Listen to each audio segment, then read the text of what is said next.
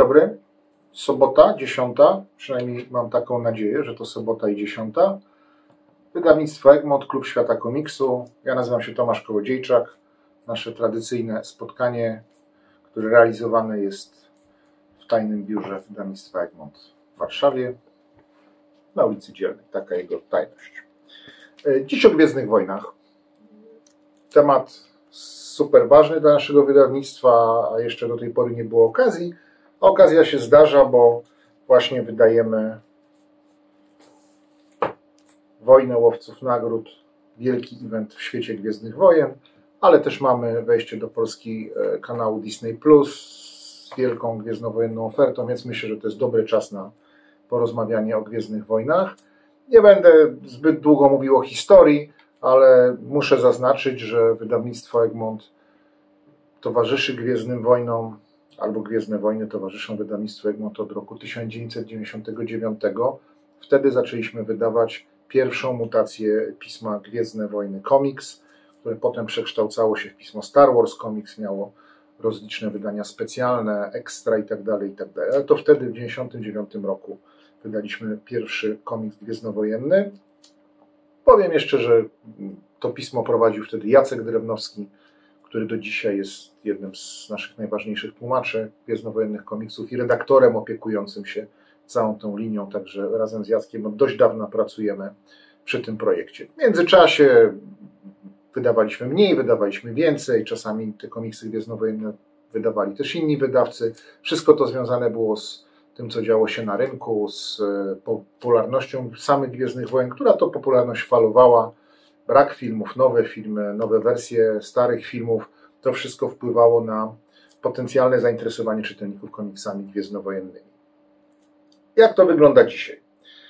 W ofercie naszego wydawnictwa znajdują się cztery podstawowe serie gwiezdnowojenne. To są te serie, które wychodzą w Stanach Zjednoczonych i my z pewnym opóźnieniem ale nie wcale takim dużym. Te serie wydajemy na polskim rynku.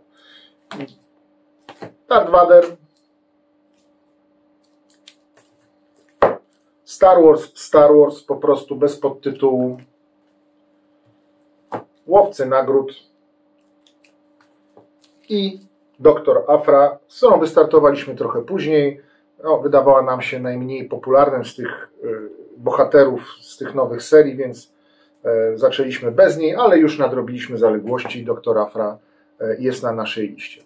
Te cztery serie mają po dwa tomy, a po tych dwóch tomach następuje właśnie event, o którym mówiłem. Wojna łowców nagród.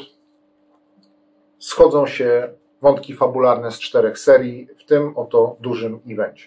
Co ciekawe, e, ten event będzie kontynuowany. W ramach każdej z tych serii, tych czterech serii, w sierpniu i wrześniu wydamy po jednym tomie, opatrzonym również brandem Wojna Łowców Nagród. A więc będziemy mieli Doktor Afre, Wojnę Łowców Nagród, mm, Łowców Nagród, Wojnę Łowców Nagród, Gwiezdne Wojny i Darta Vadera e, z tym brandem. To jest bardzo ciekawa konstrukcja fabularna, ponieważ e, te komiksy w ramach głównych serii, które będą miały numer 3 na grzbietach, e, jednocześnie towarzyszą eventowi. One nie są prequelami albo sequelami. Oczywiście tam fabuła obejmuje okres przed i po, ale zasadniczo należy je właściwie czytać z grubsza równolegle w, z samym eventem Wojna Łowców Nagród, dlatego wydajemy je w dość dużym tempie. Ten w lipcu, a te dwa następne w sierpniu, wrześniu, co oznacza, że w ciągu dwóch miesięcy od wydania Wojny Łowców Nagród całość tego wydarzenia e, będzie na rynku. No i później będziemy kontynuować te serie, to są już plany raczej na przyszły rok, ale te cztery serie będą kontynuowane. Mamy na rynku również e, serię Wielka Republika, Star Wars Wielka Republika. E, dla tych z Państwa, którzy nie wiedzą, e, wykreowano cały, cały timeline, cały wielki projekt w uniwersum Star Wars. Akcja tego wydarzenia dzieje się kilkaset lat przed wydarzeniami z, znanymi z filmów i opowiada o czasach świetności Republiki. Stąd podtytuł Wielka Republika jest szereg powieści, są komiksy. E, całość jest tak wymyślona, że można zupełnie niezależnie czytać powieści i komiksy, ale jeżeli zna się jedno i drugie, e, to zyskuje się pełniejszy obraz całej sytuacji. Książki są na rynku. My w miarę tego, jak powstają, wydajemy również komiksy z Wielkiej Republiki. To jest lipcowa premiera. Kolejny tom, one shot planujemy na grudzień. Mam nadzieję, że to nam się uda. Na rynku możecie znaleźć Państwo również zeszyty, bardziej chyba nawet niż albumy, które są komiksowymi adaptacjami filmów. To są takie adaptacje dla młodszych odbiorców, przynajmniej teoretycznie.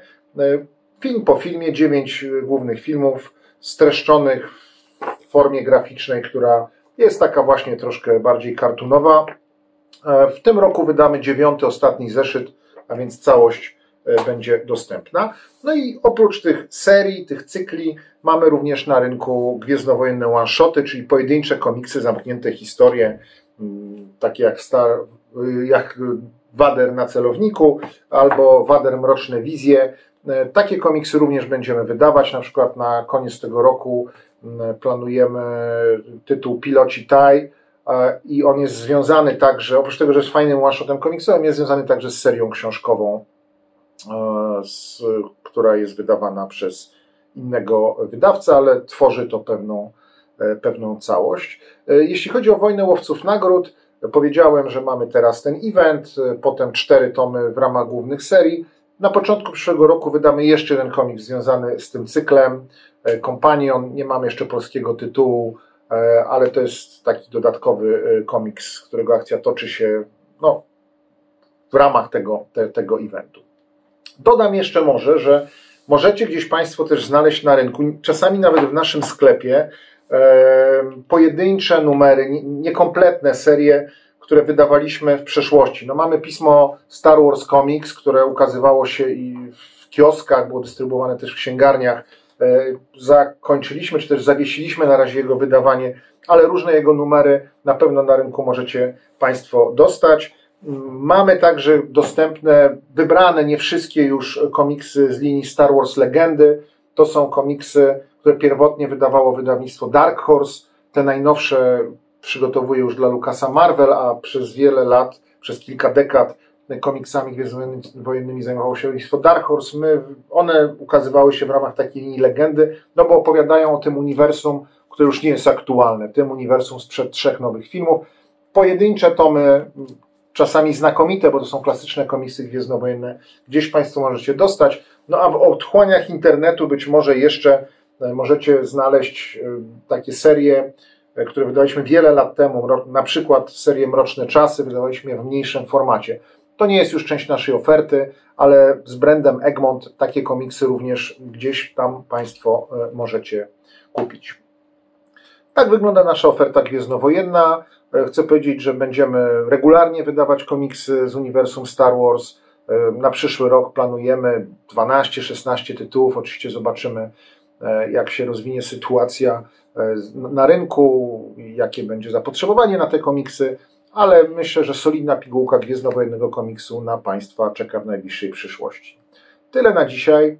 Życzę miłego weekendu e, i życzę sympatycznych wakacji z komiksami gwiezdnowojennymi. Tomasz Kołodziejczak, Egmont. Do usłyszenia za tydzień.